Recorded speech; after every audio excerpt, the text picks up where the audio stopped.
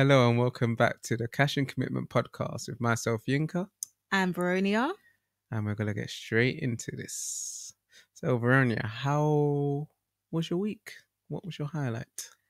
Highlight of the week was celebrating our third year anniversary, Whoop, I whoop. would say.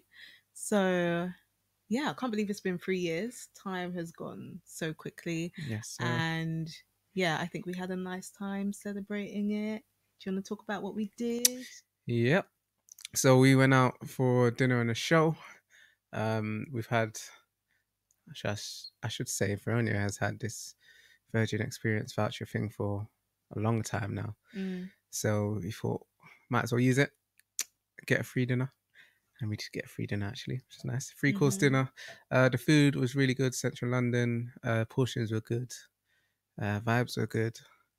And after that, we went to see a show called Shifters. You might have heard of it. Um, it was in the Duke Theatre, I want to say. Yeah. And um, it was starring, I can't remember the lady's name, but the main guy from Supacell. I believe his name is Tosin. I don't want to say his surname because I don't know. But he's a Nigerian brother called Tosin. Um, yeah, it was a really good show, to be fair. I enjoyed Supacell very much so. Veronia's sister seems to think that me and Veronia represent or are very similar to um, the main character Michael and his fiance Dionne, but we don't see it. No, But- definitely not.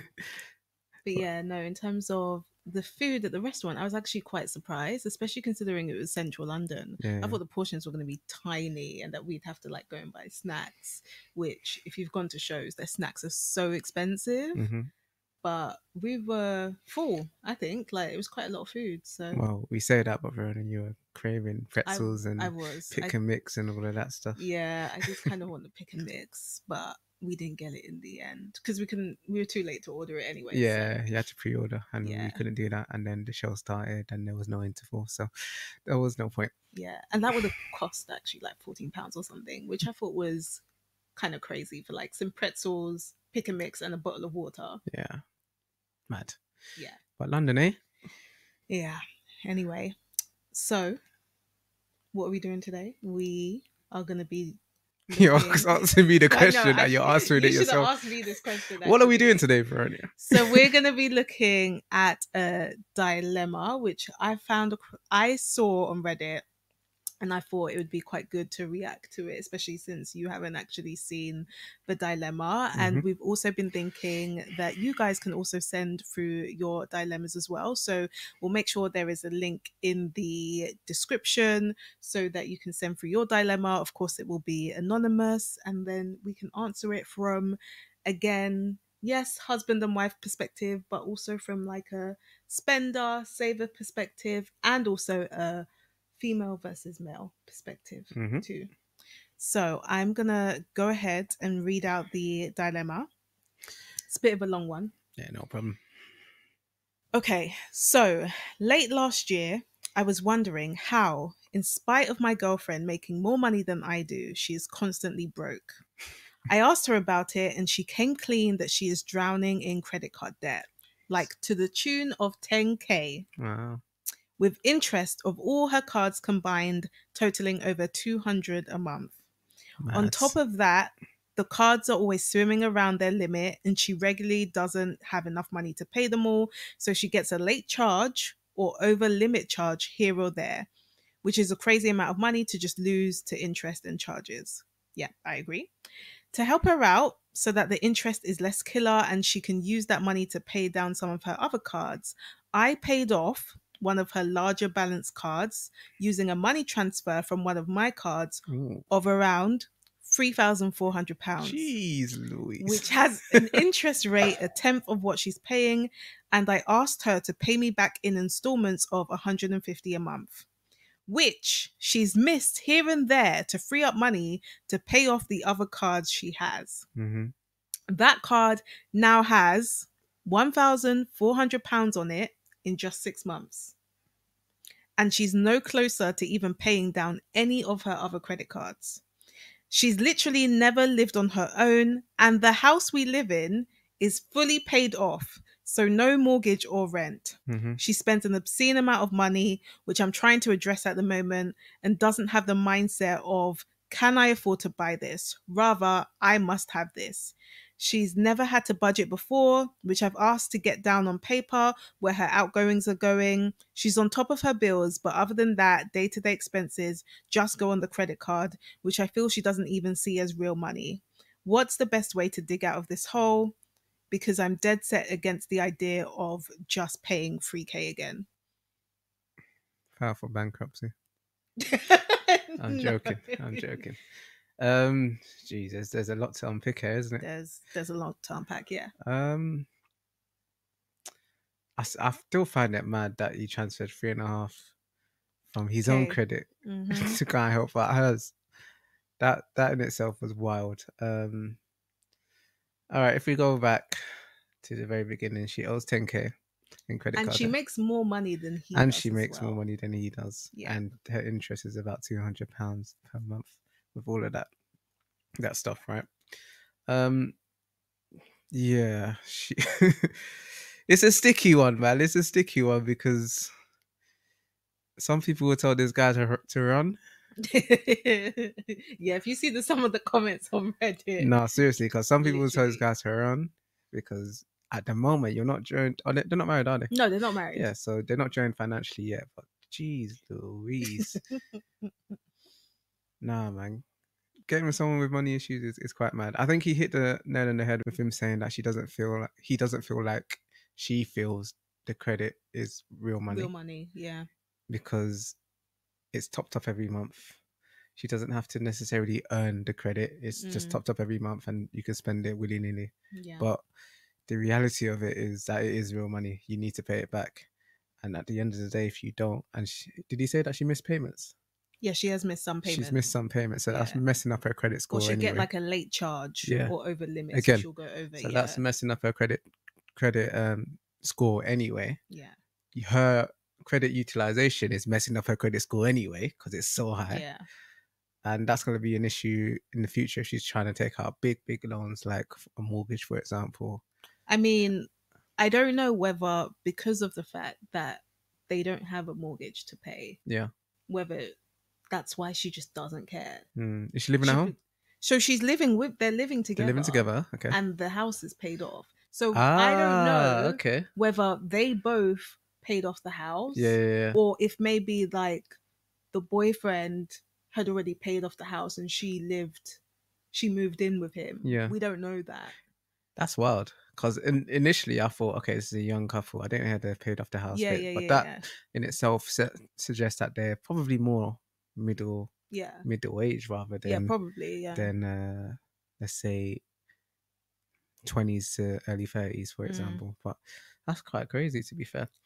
And actually, even though their house is paid off, what is she going to do with things like retirement? Yeah, Like, if she's got all of this debt, has she even got money for retirement? Yeah. If they're kind, if they're kind of older, hmm and we're only just basing this based on the fact that they don't have a mortgage. but that's crazy in itself, though. How could you still owe so much money when you don't have a mortgage to pay, which Yeah. is usually the your biggest outgoings in a month anyway? Mm. So where's all that extra money Money going coming- to?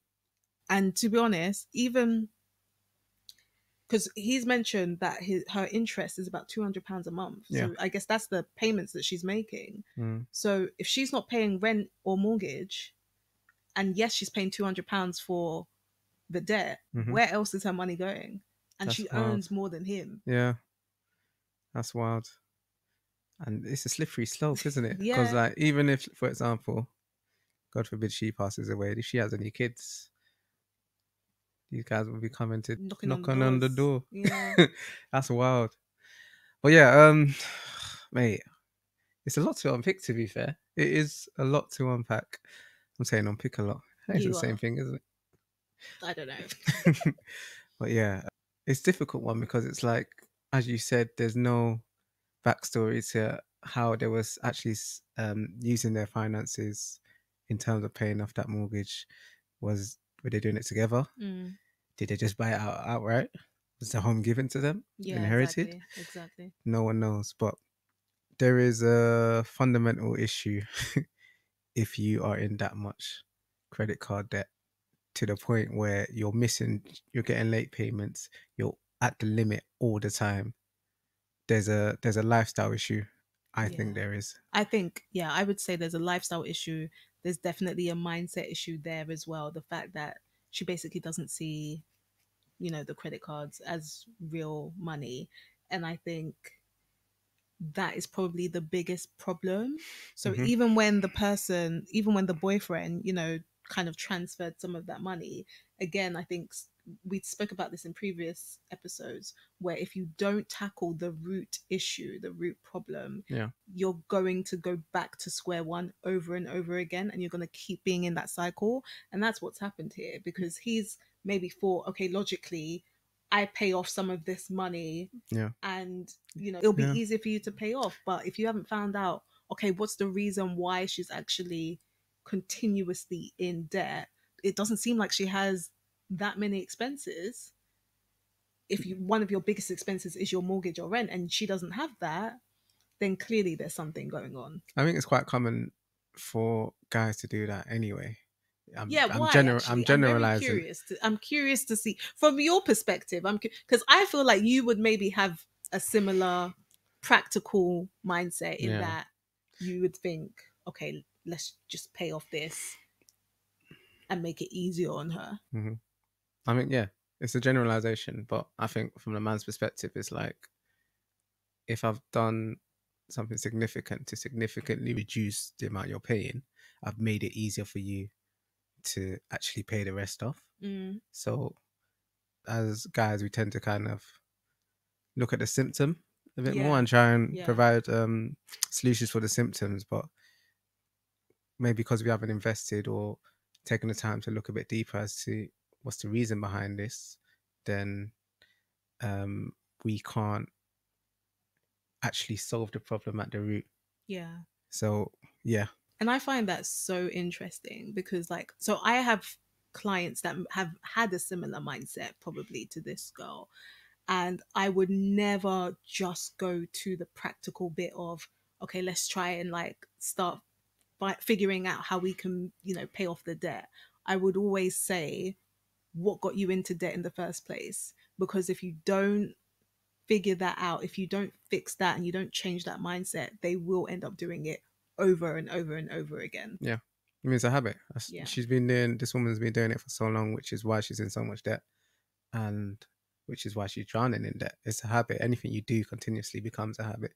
So we need to figure out where this habit has come from, mm-hmm. what's the reasons behind it, and hopefully tackle it. And I think that's a common issue with, especially if the dynamic is guys trying to help out their partner partner Mm. partner's um financial situation we tend to look at the symptom a bit too much and not necessarily tackle the the root cause Mm, and yeah it becomes an issue because as you said they'll keep doing it again yeah. and again and again.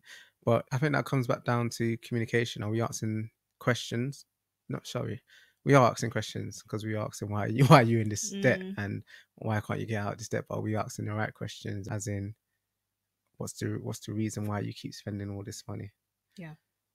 because and some of it that could nature. even come back to childhood Yeah. like if she's been because this person mentioned she's never lived on her own either Yeah. so it could be that maybe all her money problems maybe her parents have just kind of resolved it and Yeah. just kind of fixed it so she's just carried on doing whatever and if she can afford the minimum payments then she'll just carry on doing that Mm. so which Yeah. is wild as well because we go i go back to them probably being older than those that are early 30s and below because these are habits that sh as you said she probably would have um acquired from young in terms Mm. of someone bailing her out of her money situations.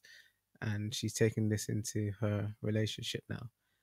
And the person now that you're joined with another person in terms of living together with them that person takes on that role of what their parents might have done and mm, they are now the ones that are um providing that kind of financial safety blanket to be like okay i can be a bit willy-nilly with my money but there's always someone back there to kind of be like a guarantor. Yeah. But exactly. it's it's sad. It's sad. I feel for anyone in that situation, and honestly, you got to have a a really good think about whether you want to take things further with someone in terms of relationship for that because there's a lot of stress. Mm, It's a lot of stress, and money is a big contributor towards um, marriages and long term relationships ending for one reason or another. Um, one of the leading contributors, I believe. yeah, of divorce. Yeah. So, yeah, you got to take that real seriously. And I think from a men's perspective, I just encourage the guys to be empathetic, um, ask the right questions, ask a variety of questions, not just practical ones, but trying to get to the deeper cause of why this is happening. And if it's that serious, potentially look at getting some outside support, some Yeah. counseling, Yeah. some. And I mean, I guess people would have also said, probably on the thread as well, like, I would not have done this because you're not actually married either. So there Yeah. even is that question of whether he should have lent that amount of money Mhm. and impacted his potentially impacted his own credit score Yeah, when they're not married. So there is also that question. So, absolutely. Yeah. Absolutely, it's tough though because when you are when you care for someone so deeply, you want to help them out, Of right? course. Yeah. So, if we go back to the example we gave in the previous episode, where your car, I think you need to pay for something for your car, Yeah. Yeah. so I gave you the money in that instance. I mean, we weren't married together by then. Yeah. We've been together for what, one, two years, something like that. It'd been more than that. Was it? Definitely. Was it? Yeah. we get caught out here, but um, we've been together for a little for Actually, a while. maybe not. See, I I'm I'm were pretty sure it was like one two years. Yeah, maybe it was. Yeah. One, two years, yeah, for sure. Because we just finished uni, no? Pretty yeah, much. I think it was like a year after uni. Okay, there we go. enough, One, two enough. years. Never doubt, never doubt my memory. Photographic.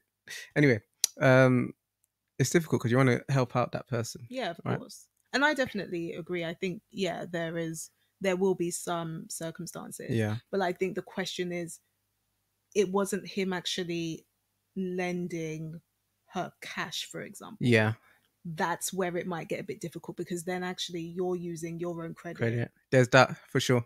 But there's also the fact that as a wiser, older adult, now any money that I lend to people or anyone, it has to be a amount that I'm comfortable with not getting back. Yeah.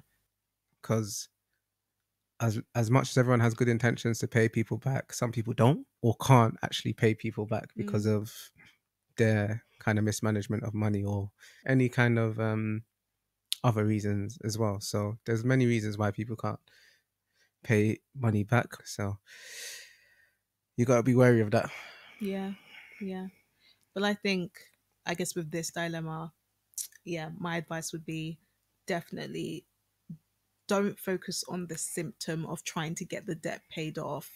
Focus on the root cause, on what's actually causing her to keep going into debt, to keep thinking that her credit card basically just is just there to be used and not paid back because obviously there's there's something going on with her mindset and then once you work on that then you can focus on the symptom of helping her to actually pay off and she she needs to want to also pay the money off as well Yeah.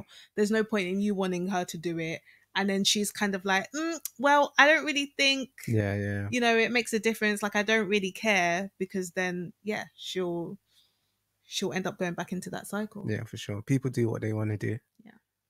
Um, but it's not to say that people's mindsets and perspectives can't change. yeah so, of- oh but look at me yeah, I didn't care before when I had my maxed out overdraft and 16k debt. I didn't care. Yeah. But then, yeah, so I completely changed. absolutely So yeah, people's mindset can definitely change 100%. for So, yeah. sure. Also, we talked about um, dealing with the root cause, which is cool. But if we're talking practical steps, what are some practical things we can actually look at? Yeah. So obviously, once the mindset has changed, that's when you or shifted. That's when you'll then want to start focusing on okay, let's list out the debts. Let's make sure we're doing all the minimum payments. And I would definitely always recommend focusing on one debt. Whether you want to do the smallest debt, whether you want to do the one based on the highest interest rate, it's totally up to you. But I would say focus on one debt and putting as much energy and obviously money into that debt as much as possible. And then once you've paid that off, you move on to the next one. Because what you don't want to do is try and pay off all of these debts at the same time because you won't really see any progress happening and then you'll just not get motivated because it doesn't look like your debt is being paid off on time or it doesn't look like your debt is being paid off very much so focus on one attack one and then move to the next So and just just a quick one. yeah So if she pays off one of these credit cards, Yeah. what's your advice on keeping the credit card or cancelling it so i this situation? yeah so again it will depend on her mindset so for some clients i've said let's pause the credit cards for now let's fix the spending let's fix your mindset around that first before you start using credit cards again if you get to a point where now you know how to save you've been able to pay off your debt you're no longer going back into that cycle then you can potentially start thinking about using credit cards because you would have then got to the point where you've built the habit of not relying on credit, not Mm. relying on debt. You're now just using your credit card as if it's just a normal debit card where you just spend your everyday spending on that. Cool. So, All right. Yeah. and save as well. Have some savings because that will also help. Cool. Sounds like a plan. All right. I think we'll call it a day on that one. It's been nice. A bit different as well. Something a bit different for us. tackling a dilemma. Um, hope you guys enjoyed it. If you are interested in sending your dilemmas or a dilemma you know of that you think would be interesting for us to talk about, then please use that link in the description that Veronia mentioned before. And we'd like to hear your suggestions as well. What would you have done differently? What advice would you have given to this particular couple?